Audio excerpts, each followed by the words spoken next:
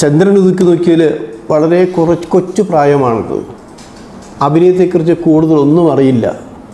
സംവിധായകൻ പറയുന്നത് ചെയ്യുന്നു എന്നൊഴിച്ചാൽ വേറൊന്നും അറിയില്ല. പക്ഷേ രസകരമായിരുന്നു ആ സെറ്റ്. നല്ല അനുഭവമുള്ളൊരു സെറ്റായിരുന്നു. അന്ന് തുടങ്ങിയ ബന്ധം സജീവമായത് വേർപിരിയാൻ പറ്റില്ല എന്ന് തോന്നിയത് മീശമാധവനിലാണ്. മീശമാധവനെക്കുറിച്ച് ആലോചിച്ചപ്പോൾ കാവ്യ അറിയാതെ ചിരിച്ചുപോയി. അത്തരം അനുഭവങ്ങളായിരുന്നു ആ ലൊക്കേഷനിലുണ്ടായിരുന്നത്. ഒന്നാമത് അതിന്റെ ഒരു പ്രത്യേകത ദിലീപിന്റെ എല്ലാം എല്ലാമായവരാണ് ആ സെറ്റിലുണ്ടായിരുന്നത് വളരെ സ്വാതന്ത്ര്യം എന്തും ചെയ്യാവുന്നതാണത് അപ്പോൾ അതൊരു തുടക്കത്തിൽ തന്നെ ആ സിനിമ ഒരു ഹിറ്റായി മാറും എന്നൊരു പ്രതീക്ഷ എല്ലാവർക്കും കൊടുത്തിരിക്കുന്നു.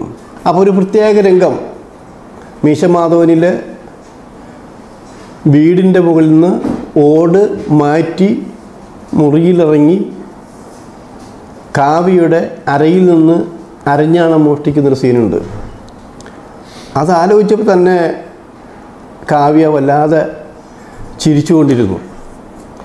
ആ സുഖമുള്ള ഓർമ്മകളാണ് അവൾ വീണ്ടും വീണ്ടും ഓർത്തത് അറിയാതെ കാവ്യ പറഞ്ഞു പോയി കള്ളൻ.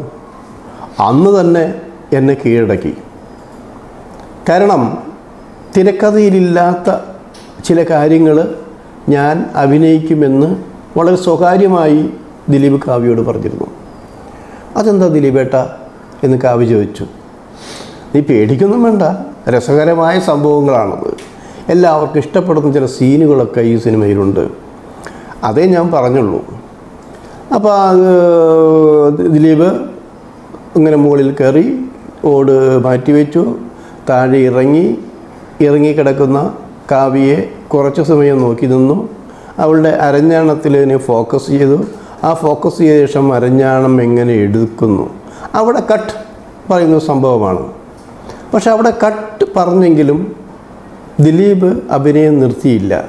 വളരെ പതുക്കെ ക്യാമറയ്ക്ക് മുഖം കൊടുക്കാതെ വളരെ പതുക്കെ കാവ്യയോട് പറഞ്ഞു ഇനിയാണ് തിരക്കഥയില്ലാത്ത ചില സീനുകളെല്ലാം ഞാൻ അഭിനയിക്കുന്നത് എന്നുള്ളത്.